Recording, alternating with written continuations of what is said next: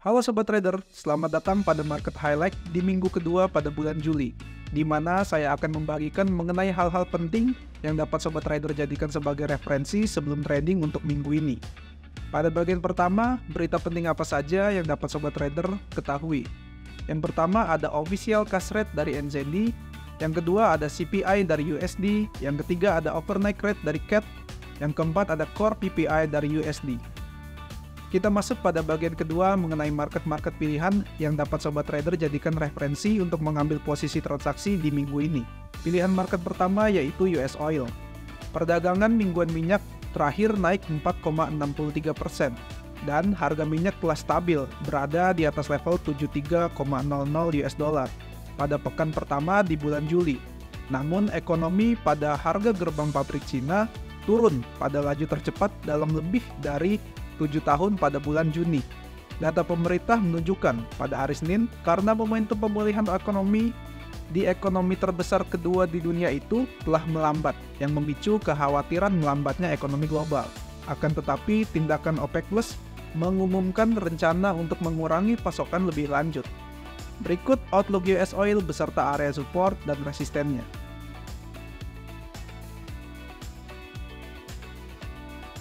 Pilihan market kedua adalah SAU USD. Perdagangan mingguan emas ditutup lebih tinggi dengan kenaikan 0,31 persen. Diketahui laporan ketenaga kerjaan di atas ekspektasi dan melanjutkan pemulihan harga emas menjelang akhir pekan. Data inflasi di bulan Juni dari AS dapat menjadi katalisator signifikan berikutnya karena potensi pengaruhnya terhadap prospek suku bunga Federal Reserve. Karena itu, investor masih menunggu komentar dari The Fed jika komentar Dovis menyebabkan imbal hasil AS 10 tahun ke area konsolidasi 3,75%. SAUUSD dapat mengumpulkan momentum bullish. Di sisi lain, upaya pemulihan logam mulia cenderung tetap terbatas jika imbal hasil 10 tahun stabil di atas 4%. Berikut outlook SAUUSD beserta area support dan resistennya.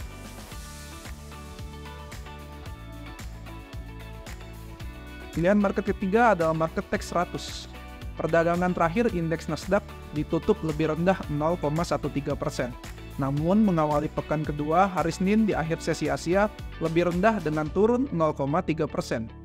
Bahkan indeks utama Wall Street berakhir dengan kenaikan indeks utama Wall Street lebih rendah pada hari Jumat dalam sesi jungkat-jungkit karena investor mencerna laporan pekerjaan AS yang menunjukkan pertumbuhan lebih lemah dari perkiraan dan menunggu lebih banyak data ekonomi juga pendapatan perusahaan di pekan kedua, dan investor menunggu rilis data inflasi AS. Berikut Outlook Tech 100 beserta area support dan resistennya.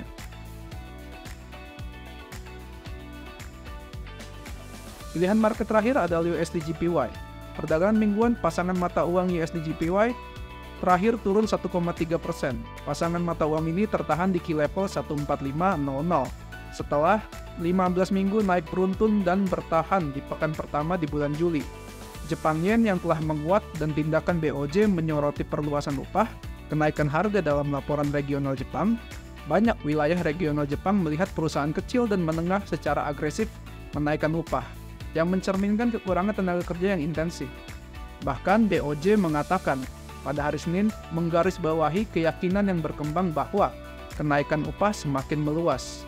Dalam laporan triwulan Bank Sentral juga mengatakan beberapa perusahaan sedang mempertimbangkan menaikkan harga barang dan jasa untuk menjaga prospek kenaikan biaya tenaga kerja.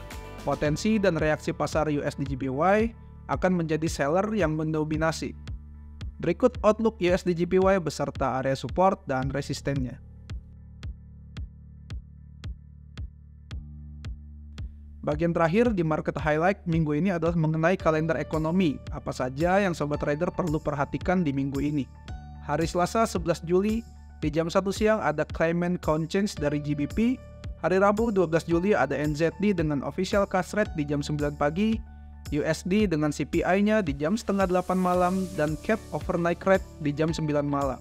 Lalu hari Kamis 13 Juli USD dengan core PPI di jam setengah 8 malam dan di hari Jumat 14 Juli USD dengan prelim UOM Consumer Sentiment di jam 9 malam. Sekian market highlight minggu ini. Semoga informasi tersebut dapat membantu sobat trader untuk meraih cuan lebih baik lagi. Terima kasih.